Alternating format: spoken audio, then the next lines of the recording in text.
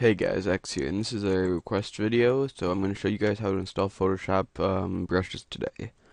So I'm at brusheezy.com, I'll have a link for it in the description, and you just want to find a brush you like, so I'll take this Pine Brushes and hit download file, wait for it to download, show in folder if you're using Google Chrome, and you want to make sure you have WinRAR, I have the link for that in the description as well.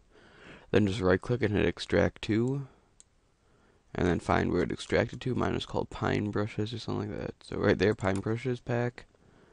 Then what you're going to want to do is come over to Start, Computer, HP or whatever your local directory is, Program Files, Adobe, Adobe Photoshop, Presets, Brushes.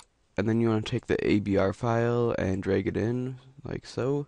And you might need to give permission to and hit OK and then come to Photoshop and I don't know let's find something that I'm here right? May as well use this one. Come to your brush tool click on this little down arrow and then click on the sideways arrow and find load brush. And then you have to navigate to the directory again but I'm already in line so just navigate the same way you did in the start menu and find pine brushes and load it.